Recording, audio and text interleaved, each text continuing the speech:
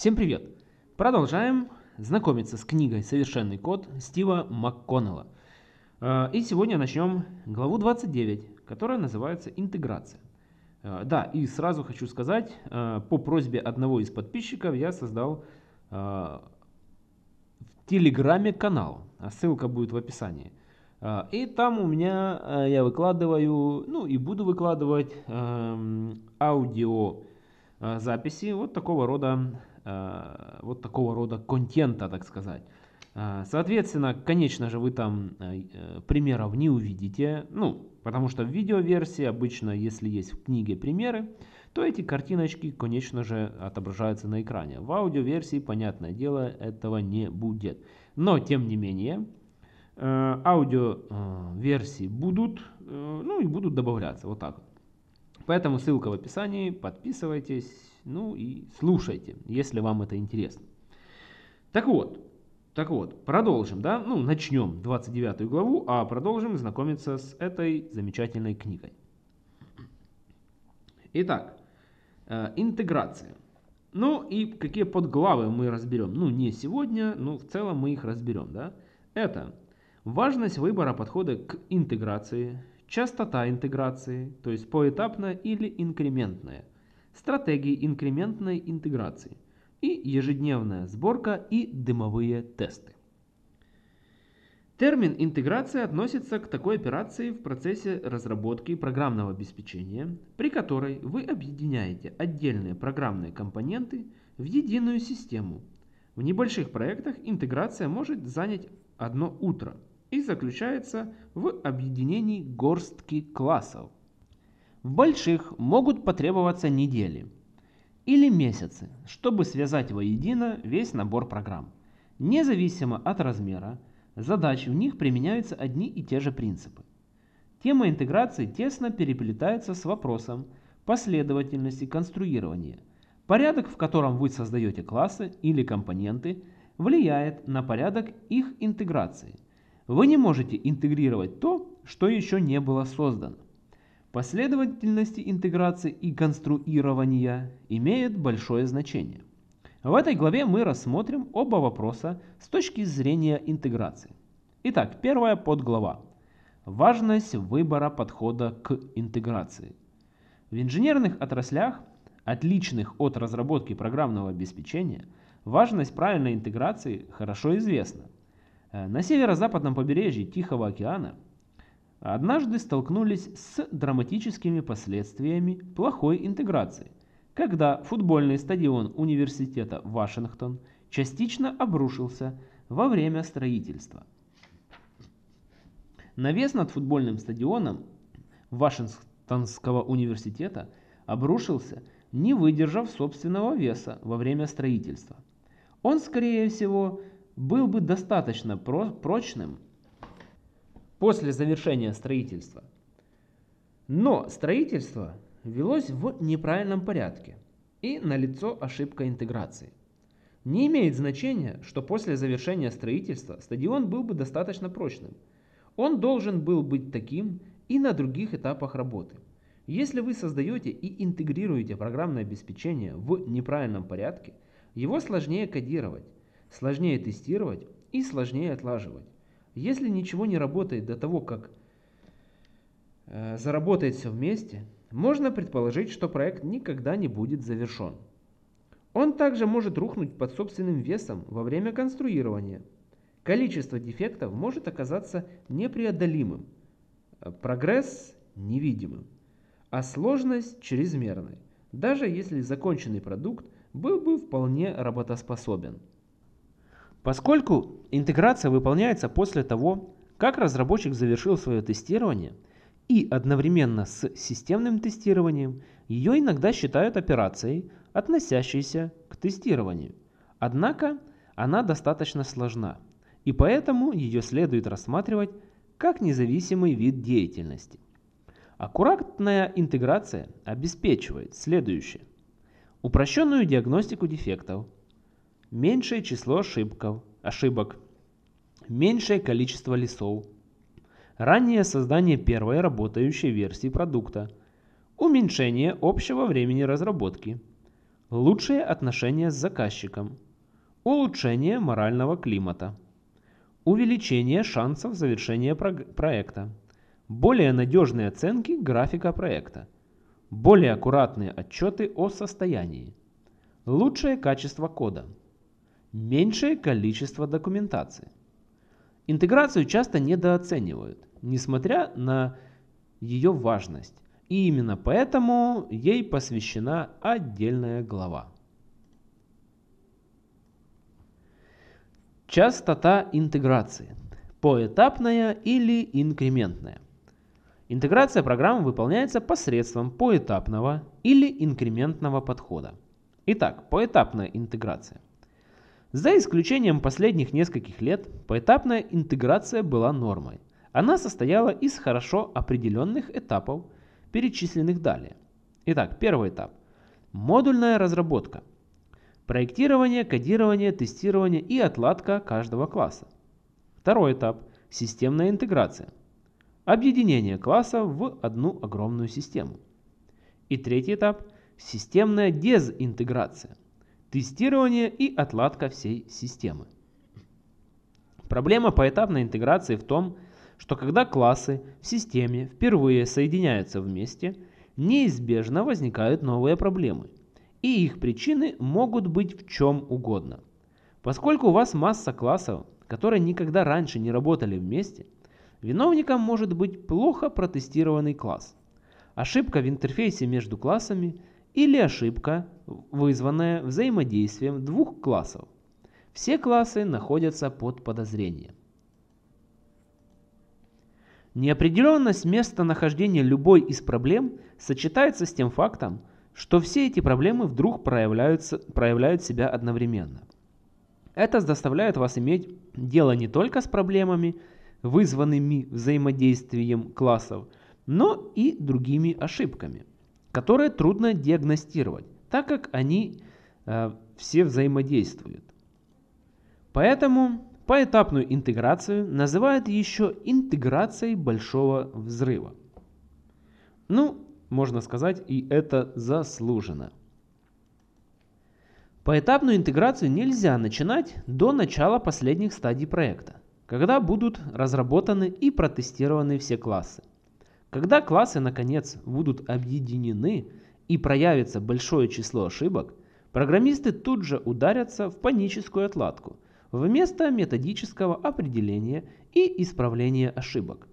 Для небольших программ нет, а для крошечных поэтапная интеграция может быть наилучшим подходом. Если программа состоит из двух-трех классов, поэтапная интеграция может сэкономить ваше время, если вам повезет. Но в большинстве случаев другой подход будет лучше. Инкрементная интеграция. При инкрементной интеграции вы пишете и тестируете маленькие участки программы, а затем комбинируете эти кусочки друг с другом по одному. При таком подходе по одному элементу за раз, вы выполняете перечисленные далее действия. Итак, первое действие. Разрабатываете небольшую функциональную часть системы.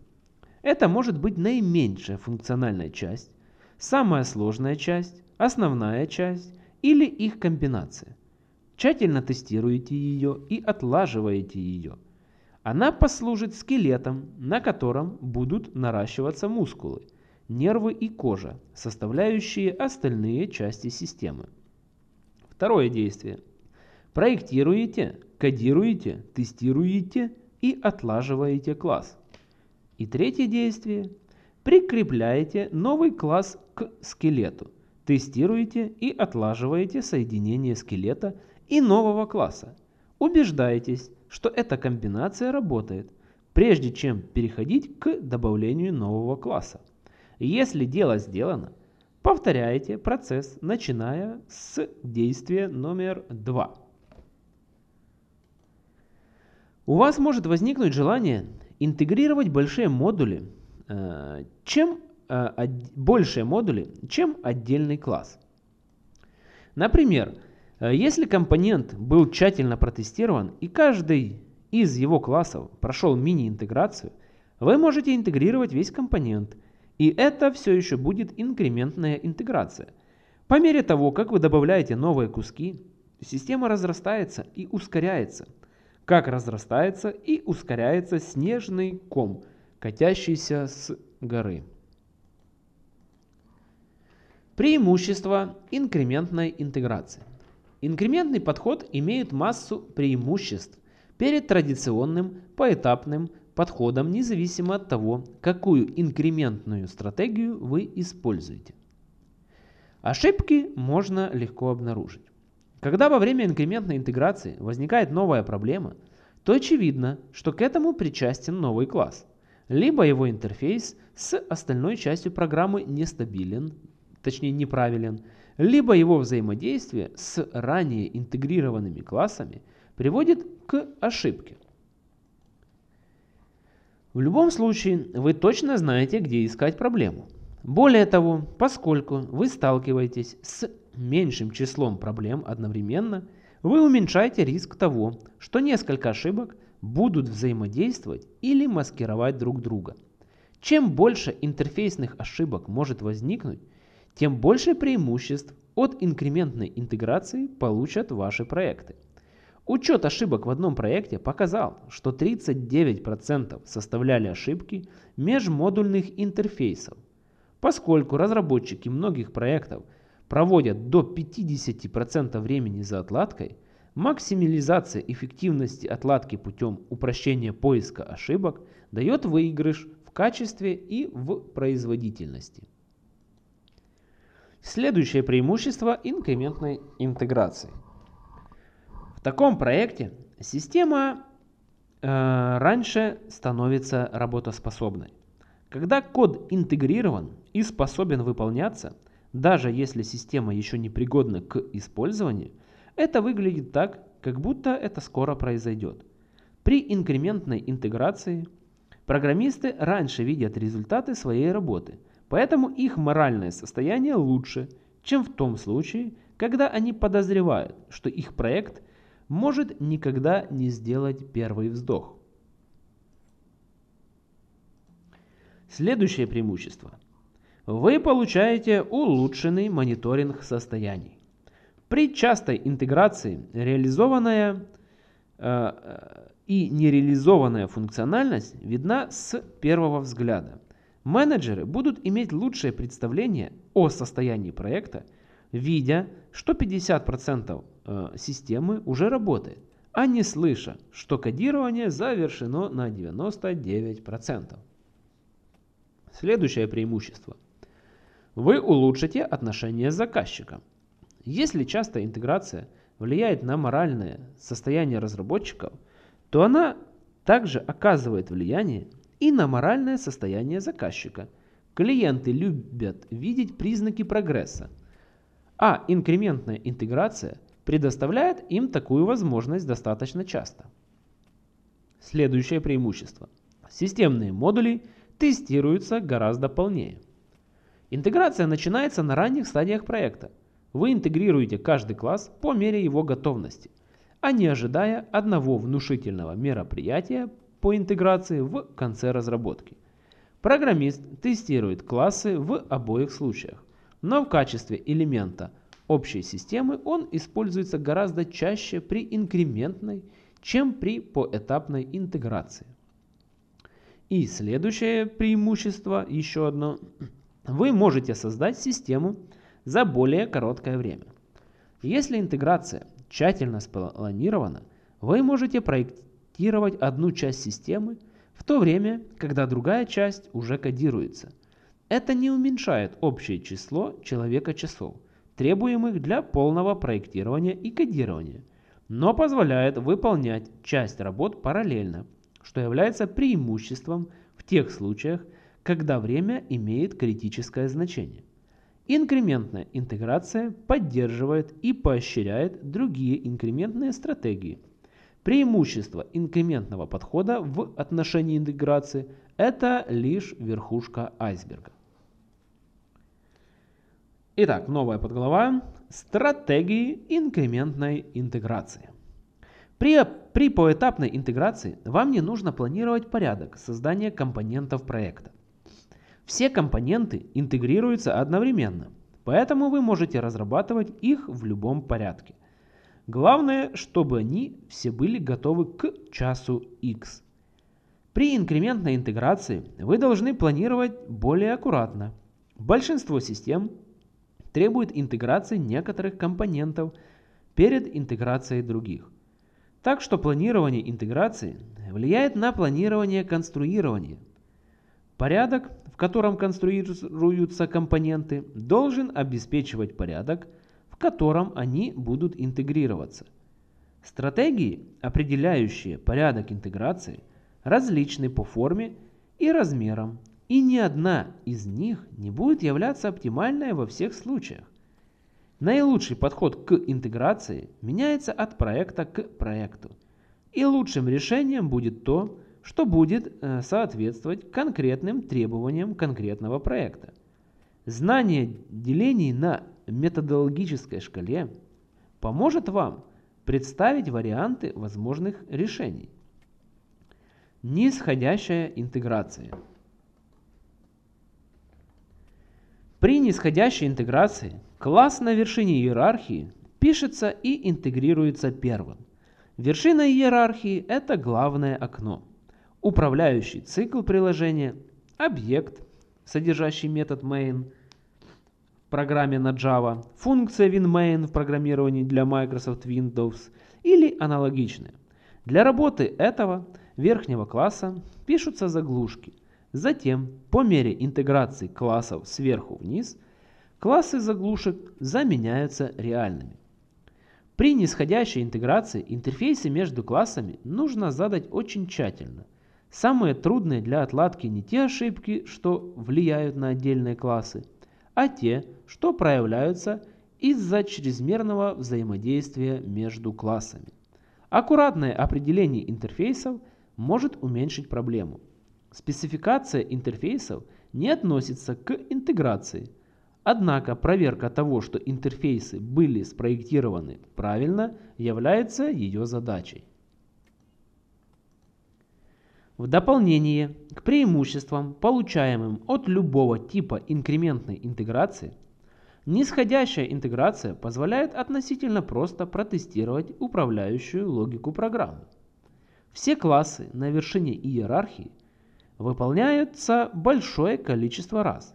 Поэтому концептуальные проблемы и ошибки проектирования проявляются достаточно быстро. Другое преимущество нисходящей интеграции в том, что при тщательном планировании вы получаете работающую систему на ранних стадиях проекта. Если часть, реализующая пользовательский интерфейс, находится на вершине иерархии, вы можете быстро получить работающую базовую версию интерфейса, а деталями заняться потом. Моральное состояние пользователей и программистов выиграет от раннего получения работающей версии. Нисходящая инкрементная интеграция также позволяет начать кодирование до того, как все детали низкоуровневого проектирования завершены. Когда все разделы проекта проработаны достаточно подробно, можно начинать реализовывать и интегрировать все классы, стоящие на более высоких уровнях иерархии, не ожидая, когда будут расставлены все точки над «и». Несмотря на все эти преимущества, чистый вариант нисходящей интеграции часто содержит недостатки, с которыми вы вряд ли захотите мириться. Нисходящая интеграция в чистом виде э, оставляет на потом работу со сложными системными интерфейсами. Если они содержат много дефектов или имеют проблему с производительностью, вы, вероятно, хотели бы получить их задолго до конца проекта. Не так редко встречается ситуация, когда низкоуровневая проблема всплывает на самый верх системы, что приводит к высокоуровневым изменениям и снижает выгоду от раннего начала работы по интеграции. Эту проблему можно минимизировать посредством тщательного и раннего тестирования во время разработки и анализа производительности классов, из которых состоят системные интерфейсы. Другая проблема – чистой нисходящей интеграции в том, что при этом нужен целый самосвал заглушек. Масса классов более низкого уровня еще не разработана, а значит на промежуточных этапах интеграции потребуются заглушки.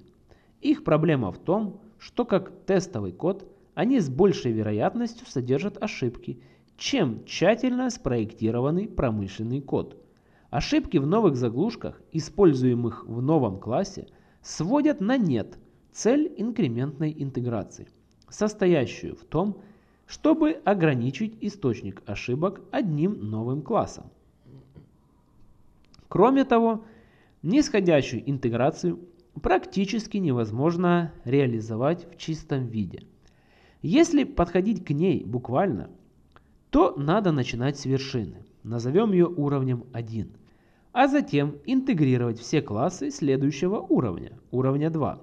Когда вы полностью интегрируете классы уровня 2, и не раньше, чем вы начинаете тестировать классы уровня 3, жесткость Жесткость чистой нисходящей интеграции абсолютно деспотична. Сложно представить кого-нибудь, кто стал бы использовать нисходящую интеграцию в чистом виде. Большинство применяет гибридный подход, такой как интеграция сверху вниз с разбиением на разделы. И, наконец, вы не можете использовать нисходящую интеграцию если набор классов не имеет вершины. Во многих интерактивных системах понятие вершины субъективно. В одних системах вершина является пользовательский интерфейс, в других – функция main. Хорошей альтернативой нисходящей интеграции в чистом виде может, быть, может стать подход с вертикальным секционированием.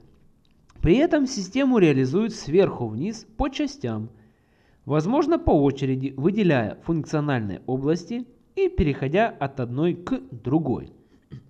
Хотя чистая, нисходящая интеграция и неработоспособна, представление о ней поможет вам выбрать основной подход. Некоторые преимущества и недостатки, свойственные нисходящему подходу в чистом виде – Точно так же, но не менее очевидно, относятся и к более свободным нисходящим методикам, таким как интеграция с вертикальным секционированием, так что их следует иметь в виду. Восходящая интеграция. При восходящей интеграции вы пишете и интегрируете сначала классы, находящиеся внизу иерархии. Добавление низкоуровневых классов по одному, а не всех одновременно, вот что делает восходящую интеграцию инкрементной стратегией. Сначала вы пишете тестовые драйверы для выполнения низкоуровневых классов. Затем добавляете эти классы к тестовым драйверам, привязывая их по мере готовности. Добавляя класс более высокого уровня, вы заменяете классы драйверов реальными. Ну, собственно говоря, вы видите сейчас на экране весь этот порядок, в котором, проис... в котором происходит интеграция классов при восходящем подходе. Восходящая интеграция дает некоторые преимущества, свойственные инкрементной стратегии. Она ограничивает возможные источники ошибок единственным классом – добавляемым в данный момент, поэтому ошибки легко обнаружить. Интеграция начинается на ранних стадиях проекта. Кроме того, при этом довольно рано реализуются потенциально ненадежные системные интерфейсы, поскольку системные ограничения часто определяют саму возможность достижения целей, поставленных перед проектом, то применение данного подхода может быть оправданным для того, чтобы убедиться, что система удовлетворяет всему набору требований. Главная проблема восходящей интеграции в том, что она оставляет напоследок объединение основных высокоуровневых интерфейсов системы. Если на верхних уровнях существуют концептуальные проблемы проектирования, конструирование не выявит их пока все детали не будут реализованы. Если проект э, если проекту понадобится значительно изменить, часть низкоуровневой разработки может оказаться ненужной.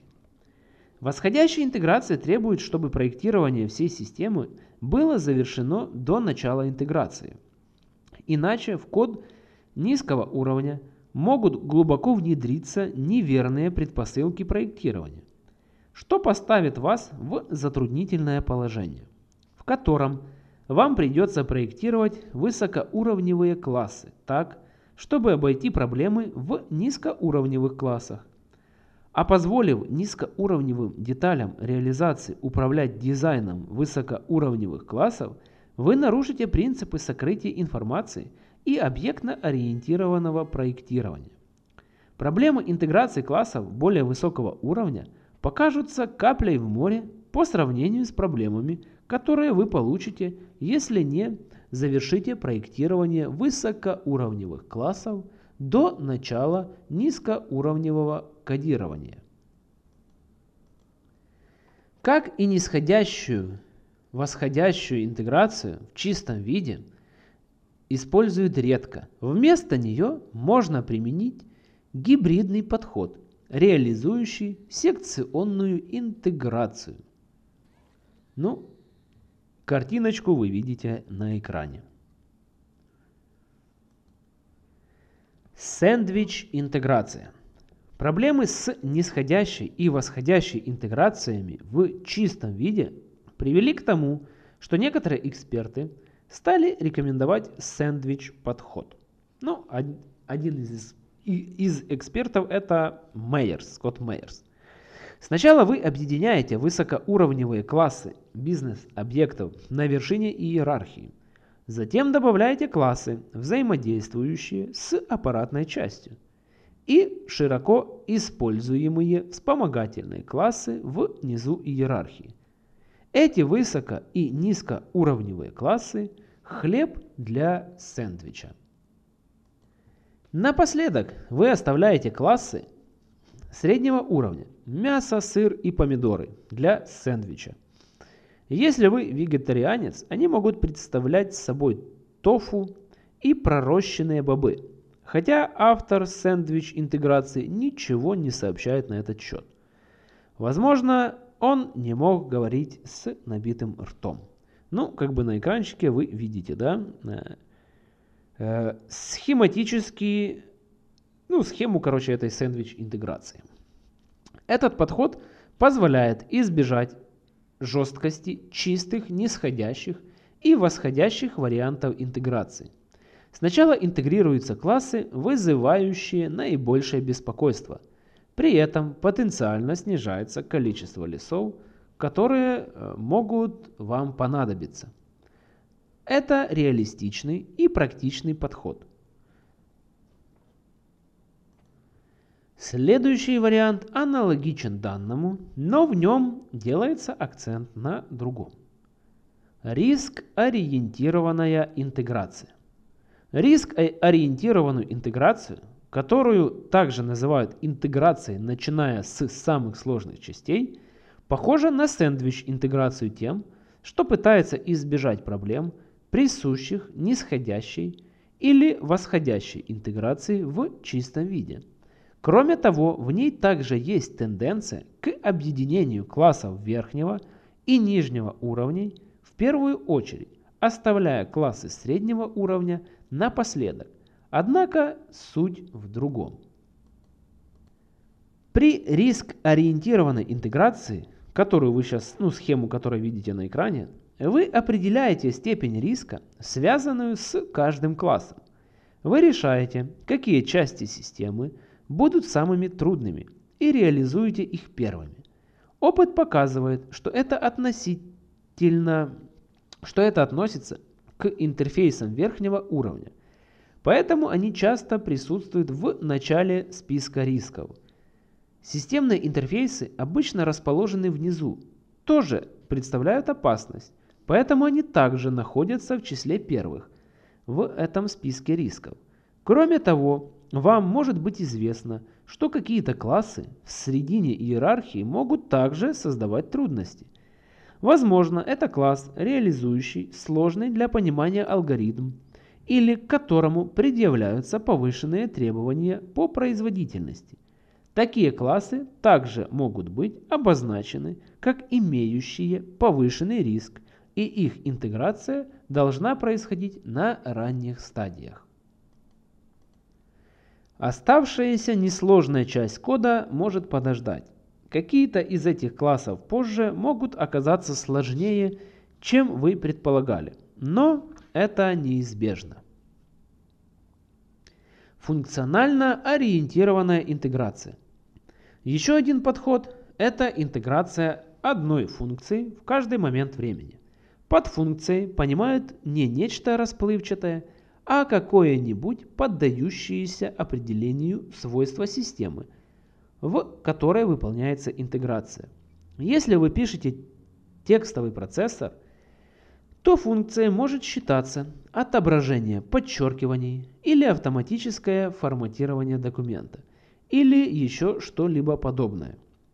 Когда интегрируемая функция превышает по размерам отдельный класс, то единица превращения инкрементной интеграции становится больше отдельного класса. Это немного снижает преимущество инкрементного подхода в том плане, что уменьшает вашу уверенность об источнике новых ошибок. Однако, если вы тщательно тестировали классы, реализующие эту функцию перед интеграцией, то это лишь небольшой недостаток. Вы можете использовать стратегии инкрементной интеграции рекурсивно, сформировав сначала из небольших кусков отдельные свойства, а затем инкрементно объединив их в систему.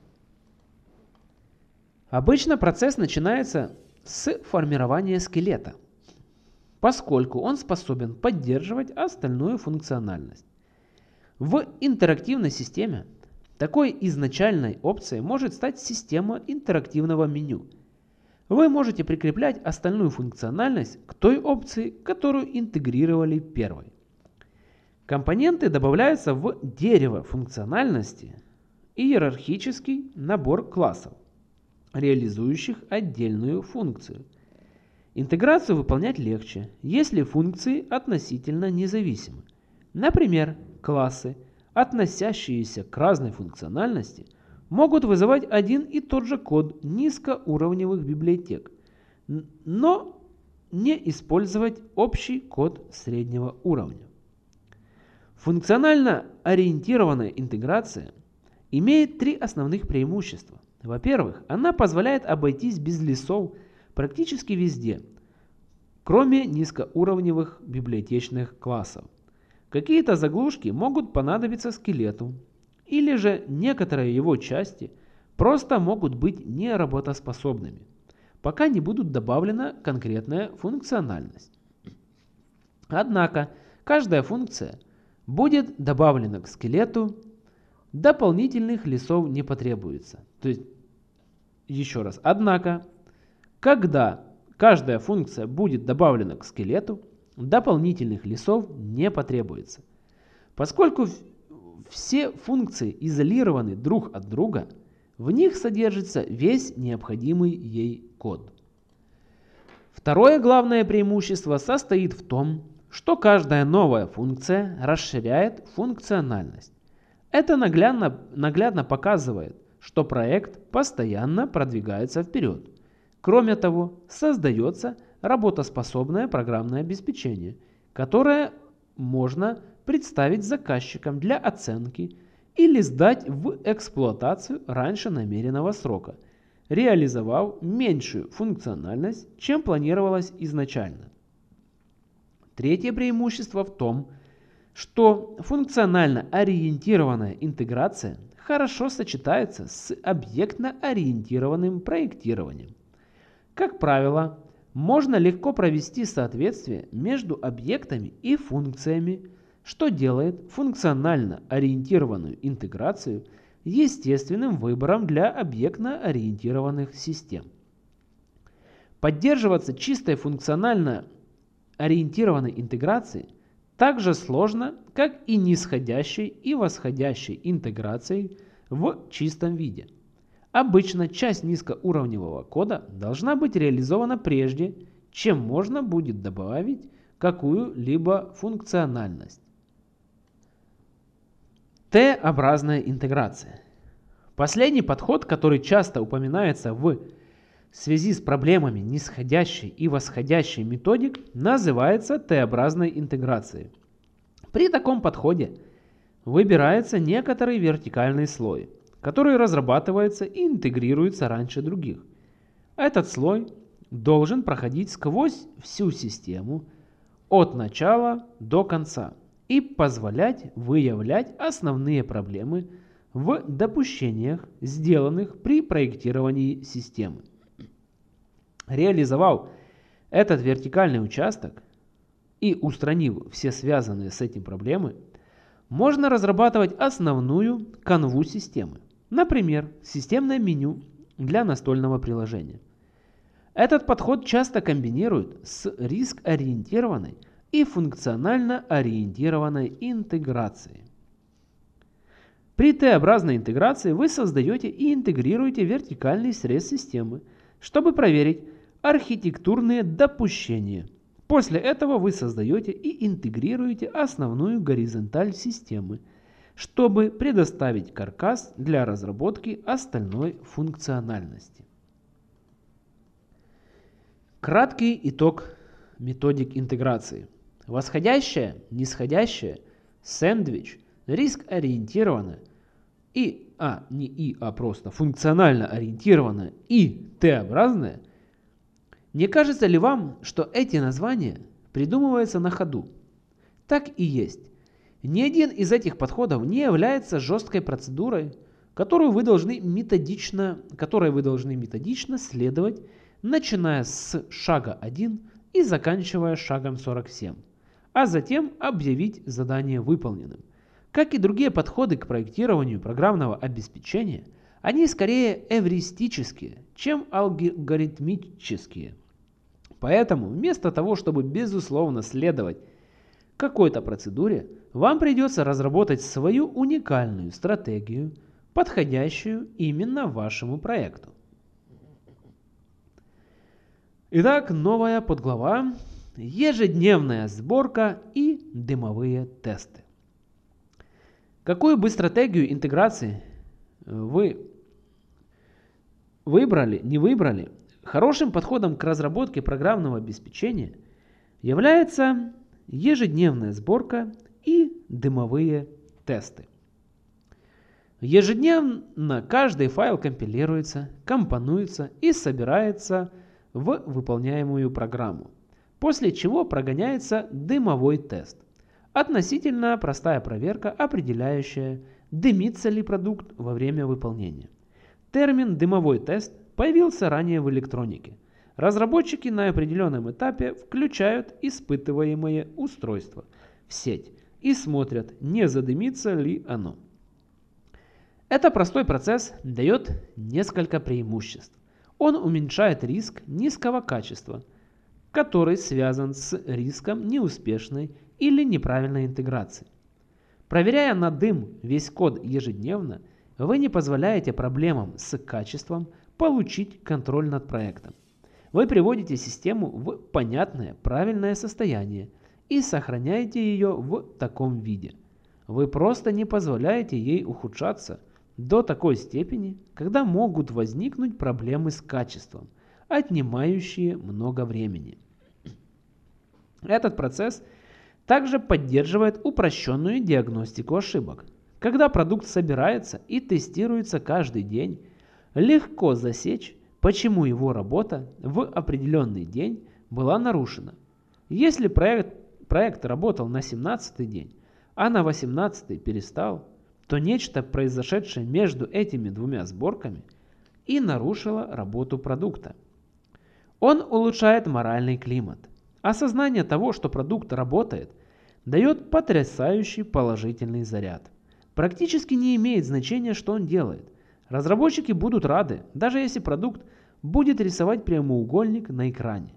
При ежедневных сборках с каждым днем все большая часть продукта начинает работать, и это поддерживает дух на высоте.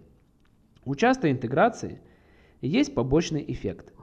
Она выявляет такие проблемы, какие в противном случае могли бы незаметно накапливаться и неожиданно проявиться в конце проекта. Такое накопление скрытых результатов может стать занозой в конце проекта и потребовать для устранения недели или месяцы. Команды, не применяющие ежедневных сборок, иногда считают, что они могут снизить эффективность их работы до скорости улитки. На самом же деле ежедневные сборки распределяют работу в проекте более равномерно, и команда просто получает более аккуратную картинку того, как быстро продвигается проект. Создавайте сборку ежедневно. Основной смысл ежедневной сборки заключается в слове «ежедневное». Как говорит Джим Маккартни, рассматривайте ежедневную сборку как пульс проекта. Пульса нет, проект мертв. Э,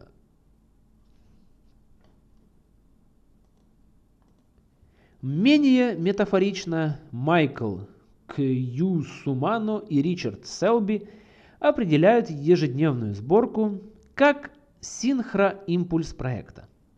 Части кода могут э, немного рассинхроваться между этими импульсами, но каждый раз во время импульса код должен приводиться в соответствие.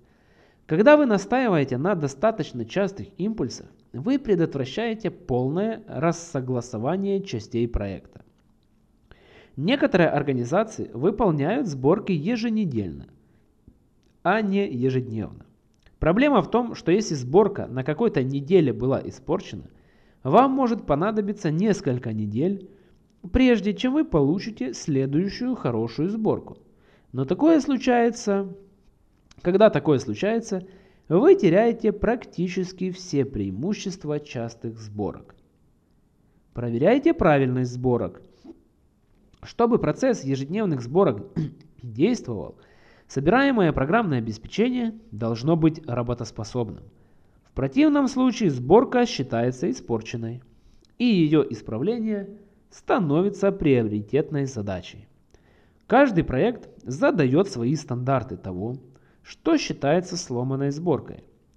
Устанавливаемый стандарт должен быть достаточно строгим, чтобы не допускать серьезных дефектов, но и достаточно снисходительным, чтобы пренебрегать простейшими ошибками, способными парализовать движение вперед, если им уделять чрезмерное внимание.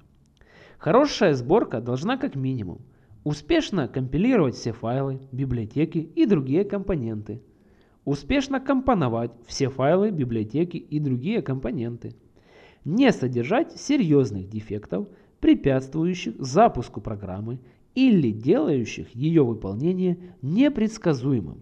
Иначе говоря, хорошая сборка должна проходить дымовой тест. Выполняйте дымовые тесты ежедневно. Дымовой тест испытывает всю систему от начала и до конца. Он не должен быть всесторонним, но должен быть способен выявить основные проблемы. Этот тест должен быть достаточно тщательным, чтобы прошедшая его сборка могла считаться стабильной для выполнения более основательного тестирования. Ежедневная сборка не имеет большого значения без дымового теста. Этот тест как часовой, который охраняет от появления проблем, снижающих качество продукта и препятствующих интеграции. Без него ежедневные сборки – становятся просто длительными упражнениями, позволяющими лишь убедиться в наличии ежедневной безошибочной компиляции. Поддерживайте актуальность дымового теста. Дымовой тест должен развиваться по мере развития системы. Поначалу он может проверять что-то простое.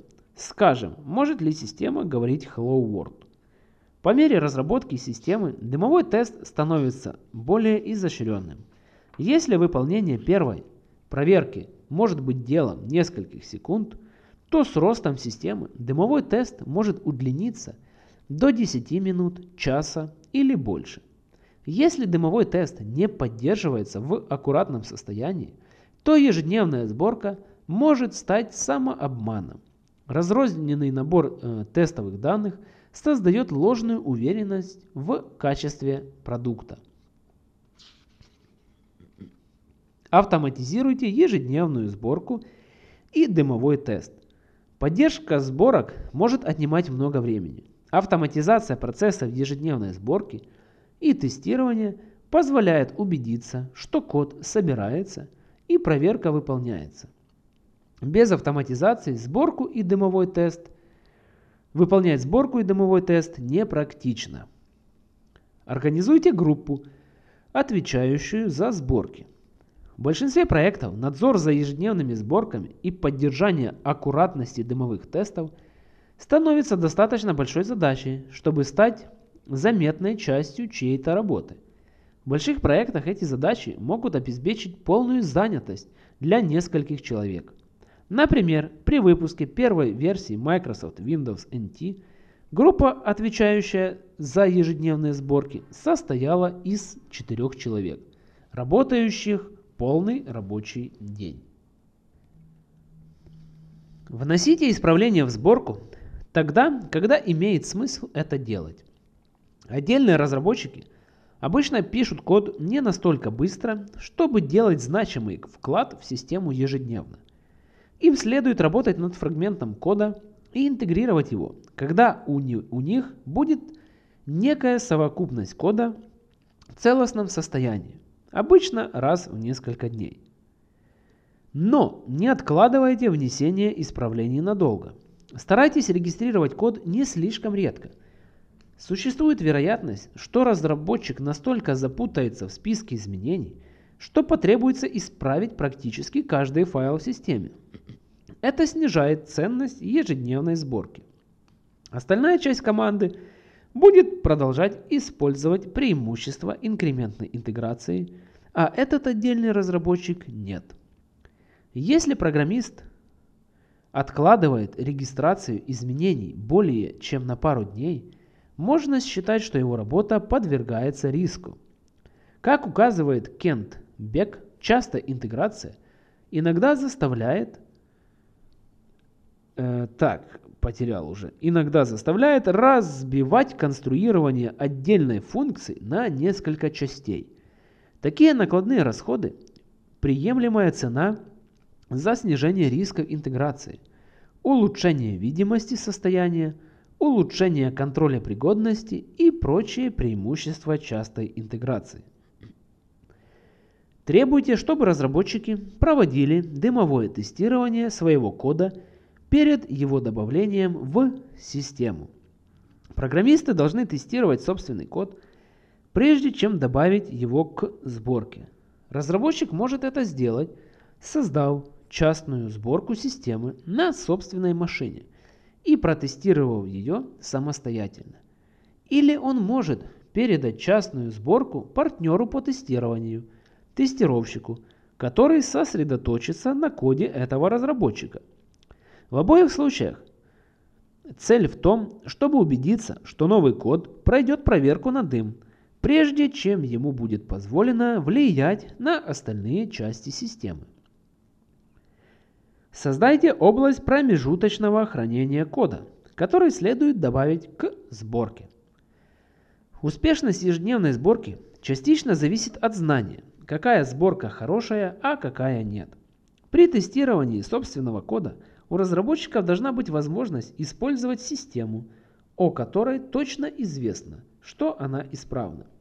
Большинство групп решает эту проблему с помощью создания области промежуточного хранения кода, который, по мнению разработчиков, готов к добавлению к сборке. Новый код помещается в эту область, создается новая сборка, и если ее состояние признано удовлетворительным – новый код перемещается в основное хранилище. В небольших и средних проектах система управления версиями может обеспечить такую функцию. Разработчики регистрируют свой код в системе. Тот, кто хочет использовать заведомо хорошую сборку, просто устанавливает флаг даты в свойствах файла системы управления версиями. Значение этого флага сообщит системе, что следует извлекать файлы, основываясь на дате последней правильной сборки. В больших проектах или там, где вы используете слишком простое программное обеспечение управления версиями, создавать область промежуточного хранения приходится э, выполнять вручную. То есть создание этой области нужно делать вручную. Автор нового кода посылает письмо в группу, ответственную за сборку, сообщая, где можно найти новые файлы, предназначенные для регистрации в системе. Или группа заводит область данных для регистрации на файловом сервере, где разработчики размещают новые версии своих исходных файлов. Ответственная за сборку группа принимает на себя обязательства по регистрации нового кода в системе управления версиями, после того, как удостоверится, что этот код не нарушит сборку. Назначьте наказание за нарушение сборки. Большинство групп, применяющих ежедневную сборку, назначает наказание за ее нарушение. Сделайте ясным с самого начала, что поддержание работоспособности сборок – одна из приоритетных задач проекта. Испорченная сборка должна быть исключением, а не правилом. Э, настаивайте на том, чтобы разработчики, испортившие сборку, прекращали всю работу до тех пор, пока ее не восстановят – если сборка ломается слишком часто, трудно всерьез относиться к вопросу поддержания работоспособности. Забавное наказание поможет сделать акцент на этом приоритете. В некоторых группах на дверь офиса сосунка, испортившего сборку, вешают леденцы, которые должны висеть до тех пор, пока проблема не будет исправлена. В других группах провинившиеся должны надевать козлиные рога или вносить по 5 долларов в специальный фонд. Другие проекты устанавливают более существенные наказания. Разработчики наиболее заметных проектов Microsoft, например Windows 2000 и Microsoft Office, на последних стадиях проектов должны носить с собой пейджеры. Если они разрушают сборку, их вызывают для ее починки, даже если дефект обнаружен в 3 часа утра. Э, выпускайте сборки по утрам. В некоторых группах пришли к выводу, что предпочтительней создавать сборку ночью, проводить дымовой тест рано утром и выпускать новые сборки утром, а не ближе к вечеру. Утреннее тестирование и выпуск сборок имеют несколько преимуществ. Во-первых, если вы выпускаете сборку утром, тестировщики могут работать в этот день со свежей сборкой. Если вы выпускаете сборку после обеда, тестировщики чувствуют себя обязанным запустить автоматические тесты перед уходом с работы. Если сборка задерживается, что случается довольно часто, им приходится оставаться после работы, чтобы запустить свои тесты, поскольку в таких задержках нет их вины, процесс сборки становится деморализующим. Заканчивая сборку утром, вы получаете более надежный доступ к разработчикам, если со сборкой возникли проблемы. Во время рабочего дня программисты находятся в офисе. Вечером они могут быть где угодно. Даже если разработчикам выданы пейджеры, не всегда легко их найти. Возможно, было бы круче начинать дымовой тест в конце дня и при возникновении проблем вызывать людей на работу посреди ночи. Но это усложняет работу команды, приводит к бесполезной трате времени. В результате же вы получаете, вы больше потеряете, чем приобретете. Создавайте сборку и проводите дымовой тест даже в экстремальных условиях. Когда сроки начинают поджимать, ежедневные сборки могут показаться излишней роскошью. Но на самом деле все наоборот. В стрессовых условиях дисциплина программистов ухудшается. Под давлением обстоятельств они прибегают к таким методам ускорения конструирования, которые не использовали бы в менее критичных ситуациях. Они рецензируют и тестируют собственный код менее тщательно, чем обычно. Код стремится к состоянию энтропии быстрее, чем это происходит при меньшем стрессе. На этом фоне ежедневные сборки ужесточают дисциплину и поддерживают на плаву критические проекты. Для каких проектов применять ежедневную сборку? Некоторые разработчики считают, что проводить ежедневные сборки непрактично, так как их проекты слишком велики. Но, вероятно, в одном из самых сложных программных продуктов 2000-х годов успешно использовалась практика ежедневных сборок. К моменту выпуска Microsoft Windows 2000 Microsoft, э, сама Microsoft Windows 2000 состояла из примерно 50 миллионов строк кода, распределенных по десяткам тысяч исходных файлов. Полная сборка занимала 19 часов на нескольких машинах. Но разработчики Windows 2000 оказались в состоянии проводить сборки каждый день. Они не стали помехой. Напротив, команда Windows 2000 видит одну из причин успеха в ежедневных сборках. Чем больше проект, тем большую важность имеет инкрементная интеграция. При рассмотрении 104, 100, 104 проектов в США, Индии, Японии и Европе выяснилось, что только 20-25% из них используют ежедневные сборки в начале или середине процесса разработки. Таким образом, в них имеются широкие возможности для улучшения. Непрерывная интеграция. Некоторые авторы расценивают ежедневные сборки как аргумент в пользу выполнения непрерывной интеграции.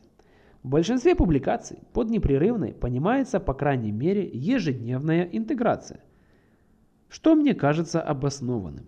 Но порой я встречаю людей, понимающих слово непрерывное буквально – они стремятся выполнять интеграцию каждого изменения с самой последней сборки, сборкой э, каждые пару часов.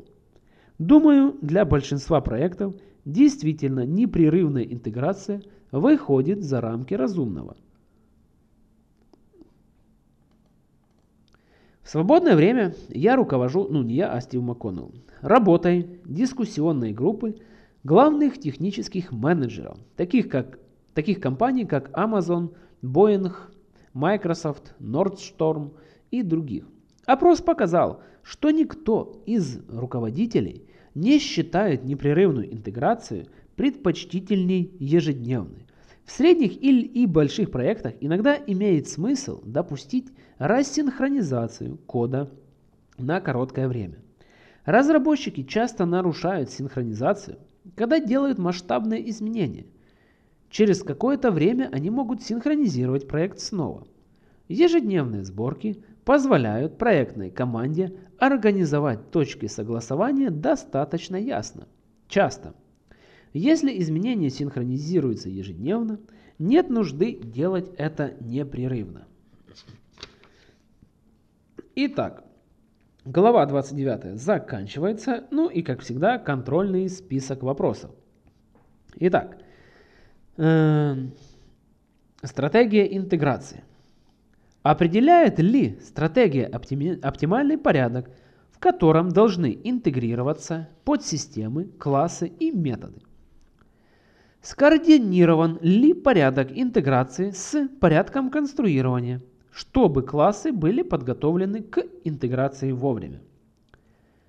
Приводит ли стратегия к упрощению диагностики дефектов? Позволяет ли стратегия сократить использование подпорок до минимума? Имеет ли выбранная стратегия преимущество перед другими подходами? Хорошо ли определены интерфейсы между компонентами? Выполняется ли сборка проекта достаточно часто, в идеале каждый день, чтобы поддерживать инкрементную интеграцию? Выполняется ли дымовой тест для каждой сборки так, что вам становится известно, находится ли сборка в рабочем состоянии? Автоматизированы ли сборка и дымовой тест? Часто ли разработчики регистрируют свой код? Не превышает ли время между исправлениями день или два? Поддерживается ли дымовой тест в соответствии с кодом, расширяясь при его расширении? Редко ли происходит нарушение работоспособности сборки? Выполняете ли вы сборку и дымовой тест даже в экстремальных обстоятельствах? Ну и напоследок ключевые моменты. Последовательность конструирования и интеграционный подход влияют на порядок, в котором классы проектируются, кодируются и тестируются. Порядок интеграции снижает затраты на тестирование и упрощает отладку. Инкрементная интеграция имеет несколько вариантов и, помимо совсем тривиальных проектов, любой из них лучше, чем поэтапная интеграция. Лучший интеграционный подход для каждого конкретного проекта – это обычно сочетание нисходящего, восходящего, риск-ориентированного и других интеграционных подходов. Т-образная интеграция и интеграция с вертикальным санкционированием часто дают хорошие результаты. Ежедневные сборки могут уменьшить проблемы с интеграцией, улучшить моральный климат среди разработчиков и предоставить полезную информацию, касающуюся управления проектом. Ну, глава 29 закончилась. Ну и в следующий раз мы продолжим. Понятное дело, с главы номер 30. Ну, а на сегодня все. Всем спасибо за внимание. Подписываемся, делимся, там комментируем, предлагаем, возможно, новые какие-то книги. У меня там есть список небольшой, довольно интересных книг, э, вот. Но, но, может быть, у вас тоже есть какие-то идеи.